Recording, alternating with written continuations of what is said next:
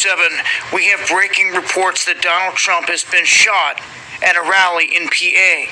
At least gunshots being heard, and it looks like he grabs his neck or his ear, and the Secret Service jumps on top of him to protect him.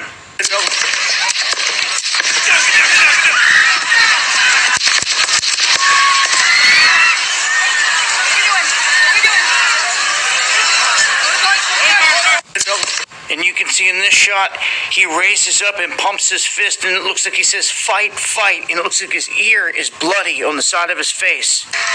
Wait, wait, wait.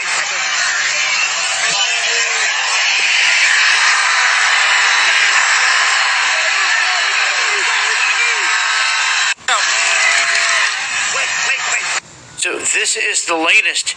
It seems like gunshots have been fired at the Trump rally in PA. That is what is being reported. And some saying that Trump potentially injured in this. Looks like he's bloody or bleeding on his right ear. That's all we know at this time. I have not got any confirmation of anyone else getting hit or injured. So, not sure if this happened when he went down to the ground or if he was actually hit by the bullet.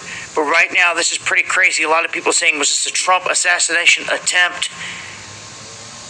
This is what is going on. It looks like right now he's okay, though, and they got him out of there. I will update on X as I get more information. Make sure to follow me there. This has been Dabu's.